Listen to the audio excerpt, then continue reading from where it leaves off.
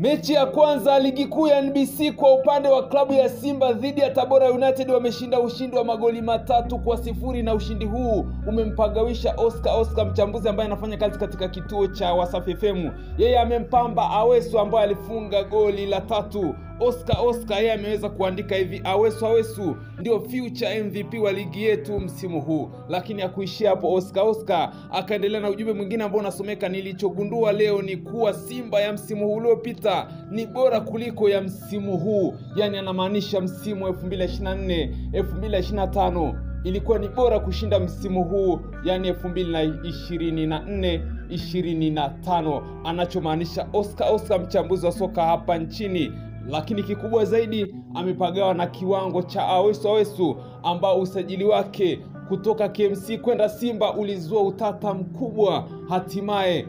biashara ya Simba kumchukua Awesu Awesu ndani ya kikosi cha Simba imelipa kwa kupigilia msumari wa tatu na ushindi huu mnono wa klabu ya Simba unafanya katika msimamo wa ligi kuu NBC kwa hivi sasa kusomeka Simba ikiwa juu ya msimamo huo.